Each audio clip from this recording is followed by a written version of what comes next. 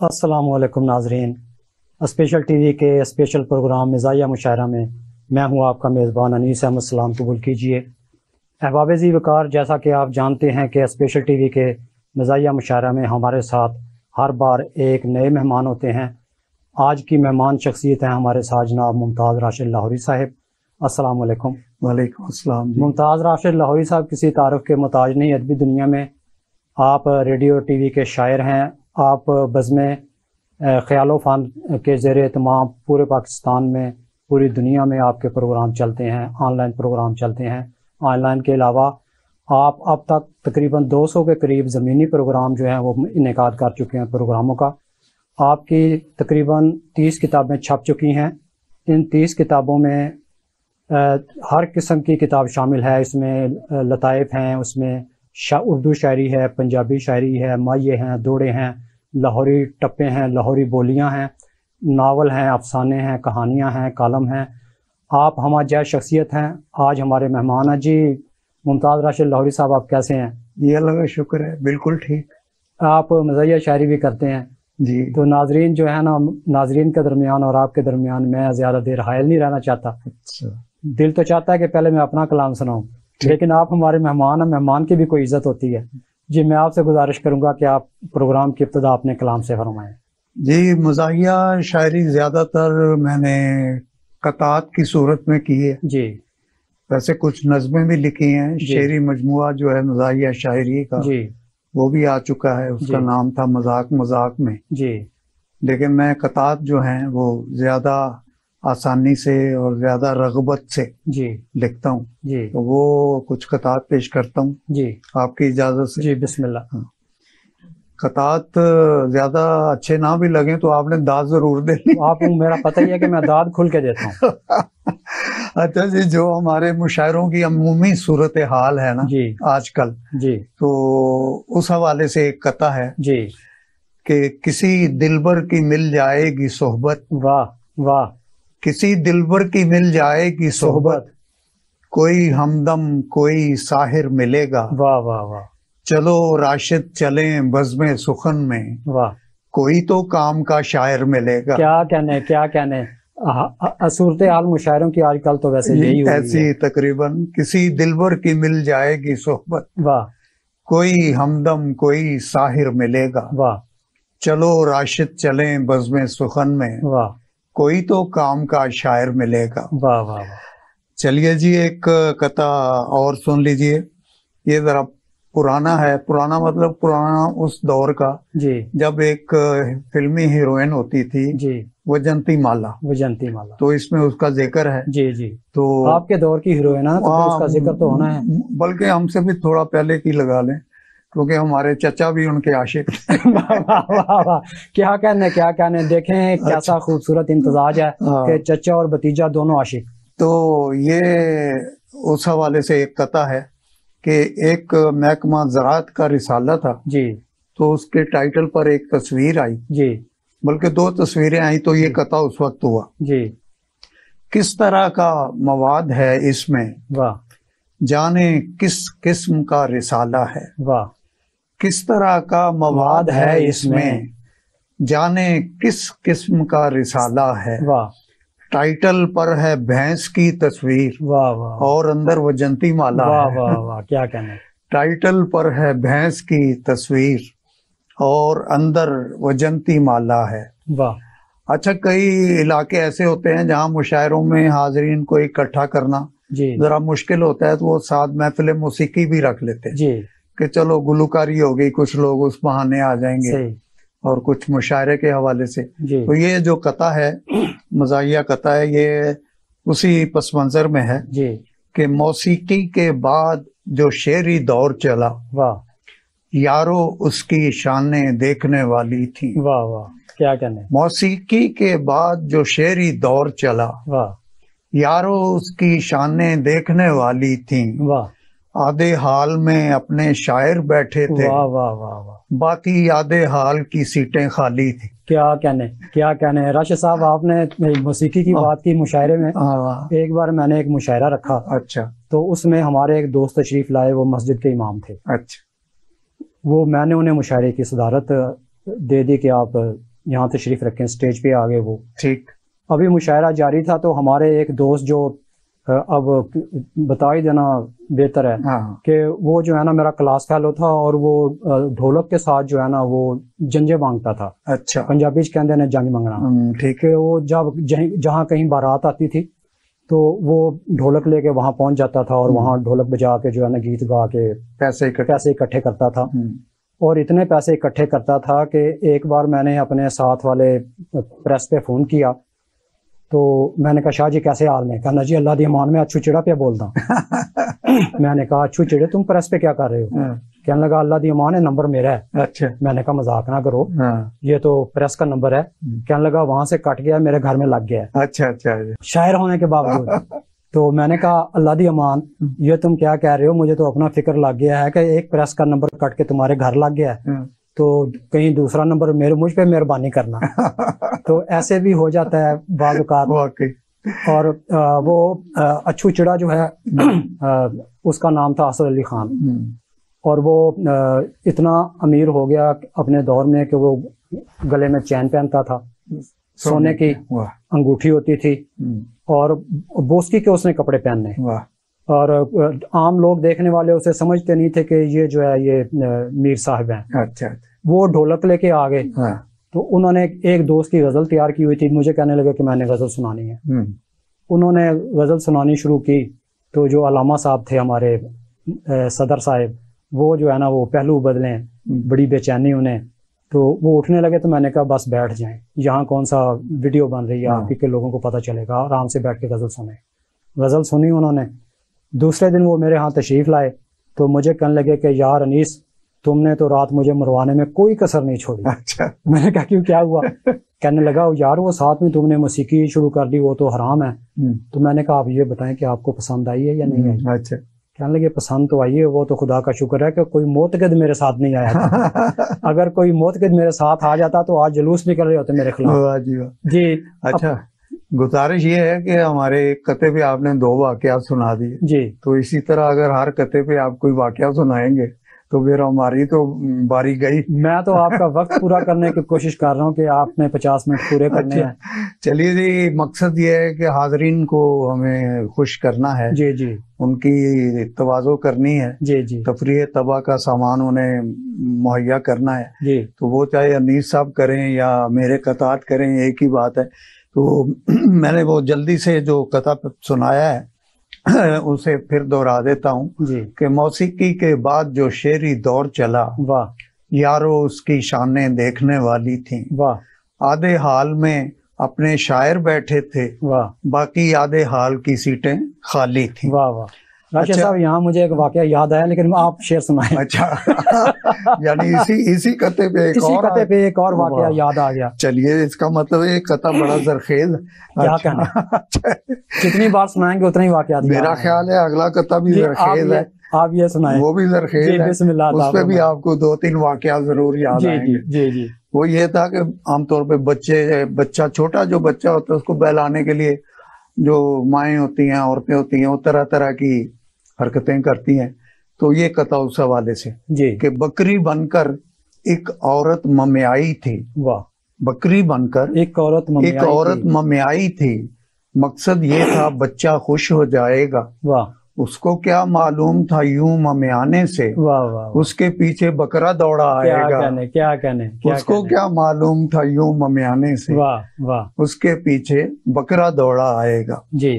अच्छा जी एक कथा और देखे ये देखें तीन तीन मिसरों की भी तुकोनियाँ भी मैंने लिखी हुई हैं। जी जी। लेकिन मैं ज़्यादा तो जो है ना इस वक्त वो कतात पे कर रहा हूँ। जी। ये एक जो मोटापा है ना जी, जी, ये एक आलमी बीमारी है। जी जी। थोड़े बहुत मोटे हम सब हैं लेकिन कुछ लोग जो एक्स्ट्रा ऑर्डनरी मोटे हो जाते हैं। जी जी। ये कथा उनके बारे में। यहाँ पे मुझे एक बात याद आई लेकिन मैं सुनाऊँगा नहीं आप बता फरमाएँ। बहुत अच्छा करेंगे। जी जी। और वो बहुत ज़्यादा मोटा जो बंदा है उसे समझे कि उसके बारे में ये कथा है जी। कि वज़न बढ़ जाए जिनके जिस्मों के। वाह वाह वाह वाह वज़न बढ़ जाए। जिनके जिस्मों के। मुश्किलों में वो फंसते रहते हैं। वाह। कह कहे उनके रुक भी जाए तो वाह। देर तक पेट हँसते रहते वाह हैं। वाह क्या कह कहे। उनके रुक भी जाए तो जी। देर तक पेट हँसते रहते हैं। मैं एक बार फिर फरमाइश करने लगा हूँ जी जी। कि आपका दिल चाहे या ना चाहे जी। दाद ज़्यादा देने। दाद तो मैं दे रहा हूँ अल्लाह के वास्ता एक मेरी बात एक मेरी बात दाद कम दी है। अल्लाह का वास्ता मेरी एक बात सुन लें। फिर उसके बाद अब मैं आपको खुल के दाद दूँगा। अच्छा, तो दाद देने के लिए भी आपको कुर्बानी देनी ठीक हो गया। वो एक खातून से बात हो रही थी तो मैंने उसे कहा वो फल- खातून जो है ना वो बहुत मोटी है। कहती है अनीस साहब आप शायर हैं। हम्म, अहले अदब है अदब से बात करें अखलाक का ख्याल रखें। हम्म। औरत मोटी नहीं होती सेहतमंद होती है। हाँ ये तो ठीक है। हर जो जैसे हालात हों उनका तकाजा होता है कि वैसे ही अल्फाज इस्तेमाल किए जी जी अच्छा जी ये दो साल पहले साल पहले एक होटलों में आम से एक बात चल पड़ी कि उसमें गोश्त जो होता है जी। वो म्यारी नहीं होता बल्कि ये भी कहा गया जी उनमें तो गधों का गोश्त भी शामिल होता है। तो ये उस कथा ये कथा जो है उस हवाले से है जी। कि कोई भी रोकने वाला नहीं है। वाह वाह। कोई भी रोकने वाला नहीं है। सितम दिन रात ढाए जा रहे हैं। वाह। हमारे शहर के इन होटलों में वाह। हमें खोते खिलाए जा रहे हैं। क्या कहने क्या कहने क्या हमारे शहर के इन होटलों में वाह वाह। हमें खोते खिलाए जा तो रहे हैं। खोता नज़र आना ही बंद हो गया कहीं हाँ। दिखता ही नहीं है सड़क पे। हाँ पहले तो हर जगह पे नज़र आता था। जी जी होटलों वाले भी तंग हैं कि मिलता ही नहीं। और राशिद साहब सुना था कि चीन ने बड़ी डिमांड की कि जो खोते की खाले हैं हाँ जी। वो वो अदवायात में इस्तेमाल करते थे मुख्तलिफ़ अच्छा केमिकल्स अच्छा। बनाते थे। हाँ, ये उधर उन्होंने। पाकिस्तान के साथ ठेका किया और पिछले दौरे हुकूमत में हुकूमत खैबर पख्तूनख्वा ने उनके साथ मुआदा किया कि हम आपको खोते सप्लाई करेंगे। सुना उन्हें हड्डियाँ ज़्यादा चाहिए थी और खा लें तो गोश्त इधर इस्तेमाल हो जाता था हड्डियाँ और हाँ जी हाँ, उधर से। पाकिस्तानी है ना जी हम कोई चीज़ बेकार नहीं जाने देते। अच्छा जी। कोई भी रोकने वाला नहीं हाँ। सितम दिन रात ढाए जा रहे हैं। वाह। हमारे शहर के इन होटलों में वाह। हमें खोते खिलाए जा रहे हैं। ये जो जलसे होते हैं। सियासी जमातों में उनमें एक किस्म है जिसे जलसा नहीं कहते धरना कहते जी जी। तो धरनों में सभी मर्दोजन इकट्ठे हो जाते हैं ये कथा जी जी। उस हवाले से है कि। ऐ मेरी महबूब मुझे तू आज अपना दीदार करा जा। वाह वाह क्या क्या कहने। मेरी महबूब मुझे तू आज अपना दीदार करा जा। बाग में आना है घर मुश्किल। वाह। धरने ही में मिलने आ जा। वाह वाह वाह क्या कहने। बाग में आना है घर मुश्किल धरने ही में- मिलने आ जा। जी। अच्छा ये जी एक अ, इसका मैं पस मंजर नहीं बताता कतई सुन ले सीधा जी, सीधा जी जी। कि ख्वाहिशें अपनी घटा लेंगे हमारा क्या है? वाह वाह। ख्वाहिशें अपनी घटा लेंगे हमारा क्या है? हमारा क्या है? वाह। ख्वाब में वसल मना लेंगे। हमारा क्या क्या कहने है? क्या कहने?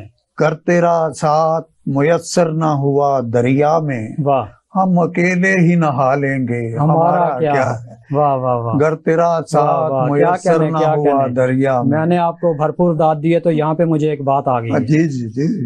वो धरने का आपने ज़िक्र किया। हाँ बिल्कुल। बेनजीर का दौरे हुकूमत था। हम्म, काजी हुसैन अहमद साहब उन्होंने कहा कि अगर तुमने ये काम ना किया हुकूमत ने तो हम इनके खिलाफ पार्लियामेंट के सामने धरना देंगे। ठीक।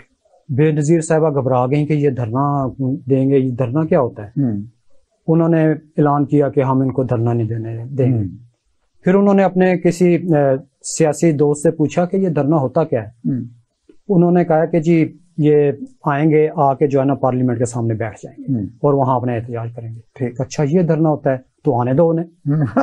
तो काजी हुसैन साहब पार्लियामेंट साहब पार्लियामेंट के सामने तशरीफ़ लाए हम्म, अपने साथियों के साथ। हम्म, और पहला धरना पाकिस्तान में कामयाब धरना बहुत बड़ा धरना हम्म, उन्होंने पाकिस्तान में धरने की इब्तदा की। अच्छा। जी यहाँ पे लेते हैं एक ब्रेक कहीं जाइएगा नहीं हम धरने में मौजूद हैं आप भी धरने मेरा मतलब है कि आ, आप कहीं जाइएगा नहीं हमारे साथ रहिएगा। धरना धरने के बाद नहीं नहीं नहीं धरने के बाद नहीं वक्फे के बाद फिर हाजिर होते हैं आप हमारे साथ रहिएगा।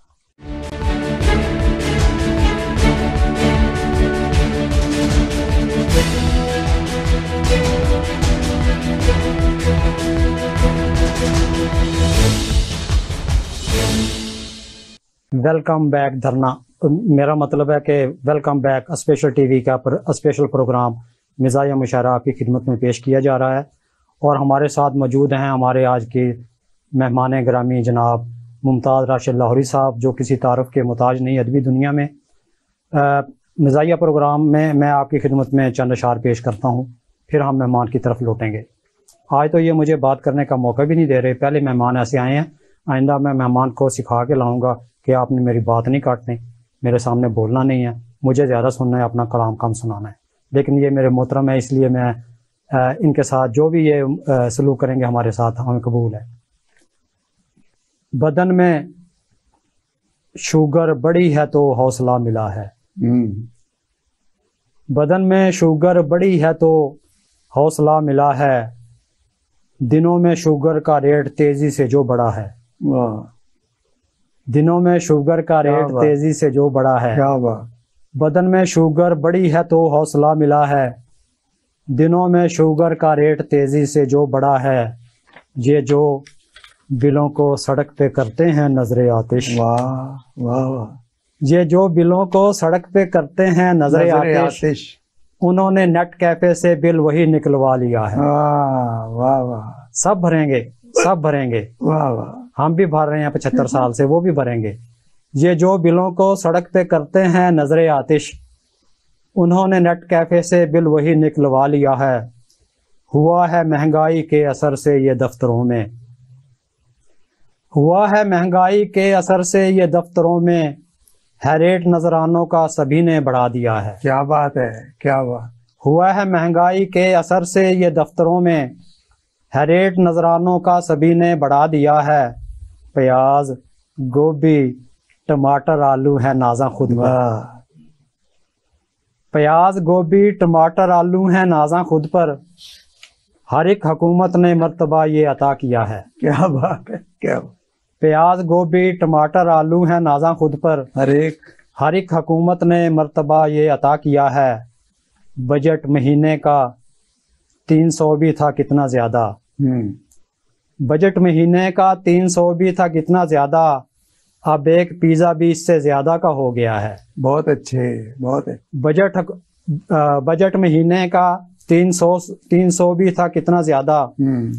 अब एक पिज्जा भी इससे ज़्यादा का हो गया है। हम्म। गया है बेटा स्कूल मुझसे खफासा होकर। हम्म। गया है बेटा स्कूल मुझसे खफासा होकर। कर के पाँच सौ खर्चा एक दिन का जो कम लगा है। अच्छा गया है बेटा स्कूल मुझसे खफासा होकर हम्म। के पाँच सौ खर्चा एक दिन का जो कम लगा है।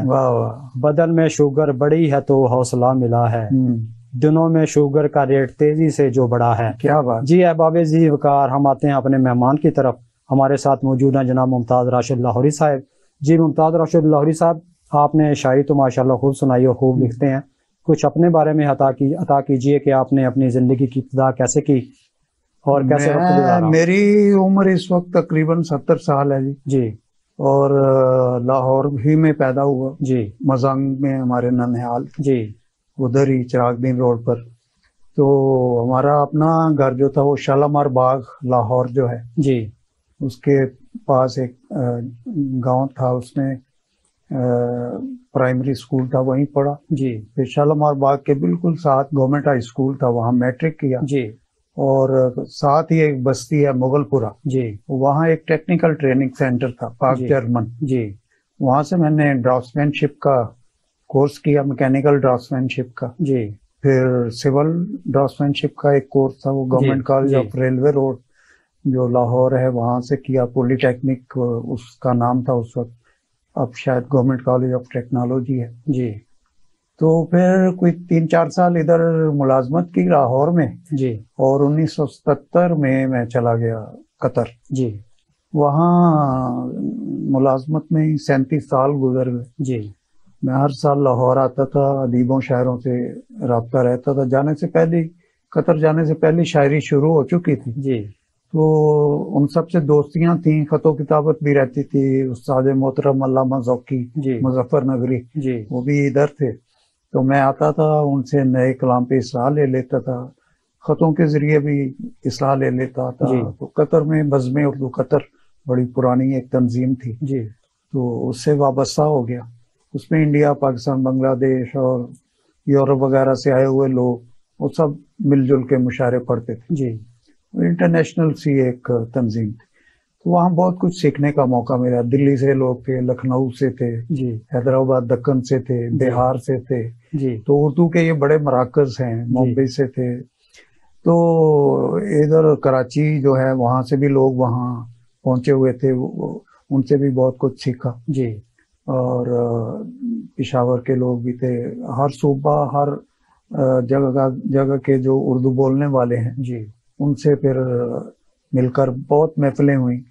हज़ारों मुशायरे पड़े यूँ समझे हर हफ़्ते एक मुशायरा होता था। जी। एक दौर में तो हर शाम वहाँ एक मरकज बना अच्छा। हुआ तो वो हर शाम सब जमा हो जाते थे जी। बगैर बुलाए हुए। जी। और जिसने कोई ताज़ा का कलाम कहा होता था सुना लेते थे। जी। तो फिर और भी तंजीमें बनी पागियो सोसाइटी वहाँ बनी। जी। उसके तहत हमने बहुत से शायरों को बुलाया। जी। फिर पाकिस्तान आर्ट सोसाइटी बनी कई दानश्वरों को बुलाया।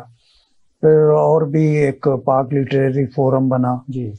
आ, फिर वहीं मैंने इदारा ख्याल फन की बुनियाद भी रखी उन्नीस सौ चौरानवे में। जी। और रिसाला भी शुरू किया। ख्याल फन के नाम से। जी। वो अगले साल यानी उन्नीस सौ पचानवे से शुरू किया। जी।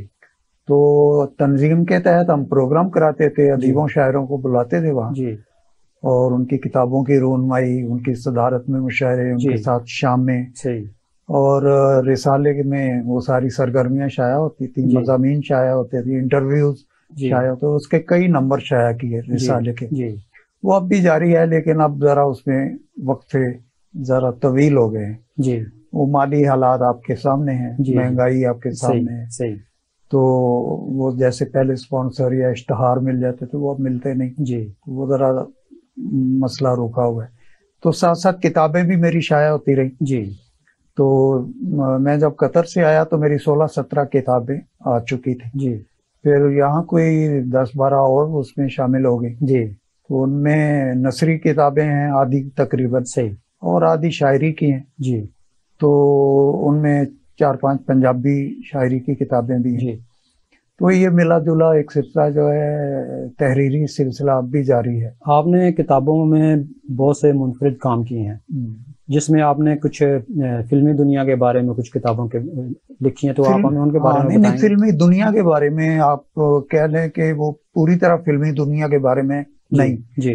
वो मैं देखता था कि अदाकारों के बारे में किताबें आ रही हैं। जी। अच्छा मौसीकारों के बारे में भी मिल जाती थी। जी। फिर हिदायतकारों और सब तो वो जो नगमा निगार थे ना नगमा निगार। फ़िल्मों के पाकिस्तानी फ़िल्मों के। उनको काफ़ी अ, लोग जो है ना वो जानते ही नहीं थे उनके बारे में कुछ ज़्यादा। जी। वो एक किताब आई रजा अली आबदी बीबीसी वाले। जी जी। तो उन्होंने लिखी एक किताब नगमा घर। तो उसमें ज़्यादा उन्होंने इंडिया के नगमा निगार जो थे जी। उनको शामिल किया। जी। और आखिर में एक पाकिस्तानी नगमा निगार थे जी। कतील शफाई। जी। उन्हों, उनको लिया। और ये भी कहा कि जो पाकिस्तानी नगमा निगार हैं वो बड़ी सलाहियतों के मालिक हैं। जी। तो मुझे उनके बारे में मवाद ज़्यादा नहीं मिला। जी। इसलिए मैंने उनके बारे में ज़्यादा नहीं लिखा। जी। तो अगर कोई ये काम करे तो ये भी एक बड़ा अहम काम है। जी। अगरचे इसका सिला कोई नहीं मिलना। सही। ना किसी यूनिवर्सिटी ने घास डालनी है जी। कि इस पर एम फिल हो जाए। ना किसी और ने कोई तवज्जो देनी है ना हत्या कि फिल्मी दुनिया वालों ने भी कोई तवज्जो नहीं देनी। जी। तो बस वो मेरे जहन में वो बात उनकी जो है ना वो बैठ गई। तो मैंने मैटर जमा शुरू किया जमा करना मवाद। कुछ मेरे पास बहुत से रिसाले थे पुरानी किताबें थी। जी। किसी जगह से किसी शायर के बारे में मालूम मिली किसी जगह से किसी नगमा निगार के बारे में। जी। तो मैं वो जमा करता गया। जी। तो कोई साल भर की मेहनत से वो मेरी किताब शाया हो गई। जी। उसका नाम था पाकिस्तानी नगमा निगार। जी। तो उसमें जो हमारे चार पाँच तो वो शायर थे नगमा निगार थे। जी। जो पार्टीशन से पहले तकसीम हिंद से पहले से ही जी। नगमे लिखते आ रहे थे। जी। उनमें मसन मुजफ्फर एक थे नहीं हाशमी उनका नाम था। जी। और तनवीर नकवी और शायद अहमद राही भी उन्हीं में शामिल थे। कतील जी। शुभाई भी उन्हीं में शामिल थे। जी। तो इनके इनको शामिल किया। जी। फिर जो पाकिस्तान से पाकिस्तान बनने के बाद जो नगमा निगार उभरे जी। तो उनके उनको शामिल किया उनका तारुफ लिखा जी। उनके मशहूर नगमे लिखे जी। उनके मशहूर नगमे किन फ़िल्मों से थे उन पर किन अदाकारों या अदाकारों ने अ, अदाकारी की उनमें अलमिया कौन से नगमे थे जी। और तरबिया कौन से थे जी। तो इस तरह ये वो किताब आ गई। चलें हमारा प्रोग्राम बुनियादी तौर पर मिजाजिया मुशा- मिजाजिया मुशायरा है। मैं आपसे गुजारिश करूँगा कि आप कुछ कलामत आप फरमाएँ। फिर बात यहीं से शुरू करते हैं। ठीक। एक कथा मैं सुनाना चाहूँगा। जी। और वो मौलाना हाली मौलाना हाली कोई 200 साल पहले सवा 200 साल पहले उन्होंने एक मिसरा कहा अपनी एक नज़म में जी। कि जहन्नम को भर देंगे शायर हमारे। आप शायरों के पीछे ही पड़ गए आज। वो मुझे बुरा लगा अच्छा, वो मिसरा जी जी। कि जहन्नम को भर देंगे शायर, शायर हमारे। ये मौलाना हाँ हाली ने क्यों कह दिया है? जी जी। तो मैंने उसका थोड़ा सा इजाला करने की कोशिश की। जी। तो वो तीन मिसरे लगाए हैं उस पर तजमीन के जी। कि सभी उस जगह पर इकट्ठे मिलेंगे। वाह। सभी उस जगह पर इकट्ठे मिलेंगे। इकट्ठे मिलेंगे। वाह। ये लीडर ये अफसर ये ताजिर हमारे। हमारे। वाह। सभी उस जगह पर इकट्ठे मिलेंगे। ये लीडर ये अफसर ये ये ताजिर हमारे वकीलों जजों से जगह कुछ बची तो वाह वाह जहन्नम को भर देंगे वाह क्या खूबसूरत तस्मीन लगाई है जगह कुछ बची तो जगह कुछ बची तो। वकीलों जजों से जगह कुछ बची तो ये तो जवाब ही है ना साफ़ जवाब ही है। को भर देंगे शायर। ये जन्नत में जाने तो के लिए तो शायरों का साफ़ जवाब हाँ, मैंने कुछ शायरों को बचा लिया है है बहरहाल कुछ नहीं सबको बचा लिया जगह नहीं बचेगी इंशाल्लाह। शायरों के लिए जगह वहाँ नहीं होगी। अच्छा जी एक मसला ये है कि रिश्तेदारी यहाँ फैल जाए तो वो याद नहीं रहता कि ये किसका बच्चा है वो किसका बच्चा है वो किसका बच्चा है। लेकिन खातन को माशाल्लाह सब याद होता है। याद होता है। उनका हाफजा इस मामले में मर्दों से कहीं ज़्यादा है। ये जो कथा है ये उसी बारे में है जी। कि दूर के रिश्तेदारों की तफसील मुझे क्या याद रहे? वाह। दूर के रिश्तेदारों की तफसील मुझे, क्या, याद, रहे? लेकिन बीवी को ये अलिफ से ये तक अजबर होती है। वाह वाह वाह वाह वाह। दूर के रिश्तेदारों की तफसील मुझे क्या याद रहे? वाह। लेकिन बीवी को ये अलिफ से ये तक अजबर होती है। एक दिन मुझसे कहने लगी कि वो जो है ना रुखसाना। वाह। वो मेरे खालू की भाभी के ताया की पोती। क्या कहने क्या कहने? वाह वाह वाह एक दिन मुझसे कहने अच्छी- लगी कि अच्छी वो जो है। ना रुखसाना वो मेरे खालू की भाभी के ताया की पोती। क्या कहने? अच्छा जी ये हो गया। बीवी के हवाले से वैसे एक छोटी सी नजम भी है पाँच छह मिसरे जी जी वो मैं सुना देता हूँ जी जी। कि मेरी बीवी कैसी है वो तो इतनी अच्छी है। वाह। वो तो इतनी अच्छी है। अक्सर मेरा दिल ये चाहे उसके जैसी दो हो जाए। क्या कहने? वाह आमीन आमीन आमीन सुमा मेरी बीवी कैसी है वो तो इतनी अच्छी है वो तो इतनी अच्छी है। वाह। अक्सर मेरा दिल ये चाहे वाह। उसके जैसी दो हो जाए। वाह वाह। अच्छा जी ये एक और देख लें। ਪੰਜਾਬੀ ਦਾ ਵੀ ਤੜਕਾ ਲਾ ਰਹੀ ਹੈ ਮਜ਼ਾਹੀਆ ਪੰਜਾਬੀ ਇੱਕ ਹੈ ਕਿ ਇਹਦੇ ਜੀ ਬੀਵੀ ਦਾ ਜ਼ਿਕਰ ਹੈ। ਵੈਸੇ ਘਰ ਤੇ ਅਸੀਂ ਡਰਨੇ ਹਾਂ ਲੇਕਿਨ ਇੱਥੇ ਖੁੱਲ ਕੇ ਸੁਣਾਈ ਜਾ ਰਹੀ। ਜੀ ਇਹ ਕਾਰਨ ਕਿਹੜਾ ਇੱਥੇ ਸਭ ਮੌਜੂਦ ਹੋਣਾ? ਹਾਂ ਜੀ ਉਹ ਪੰਜਾਬੀ ਦਾ ਕਹਤਾ ਹੈ ਜੀ ਮਜ਼ਾਹੀਆ ਕਿ ਫੋਨ ਤੇ ਸਹਿਮਿਆ ਸਹਿਮਿਆ ਹੈ। ਵਾਹ। ਫੋਨ ਤੇ ਸਹਿਮਿਆ। ਸਹਿਮਿਆ ਸਹਿਮਿਆ ਹੈ। ਹਾਲਤ ਡਾਵਾਂ ਡੋਲ ਤੇ ਨਹੀਂ। ਵਾਹ। ਫੋਨ ਤੇ ਸਹਿਮਿਆ ਸਹਿਮਿਆ ਹੈ।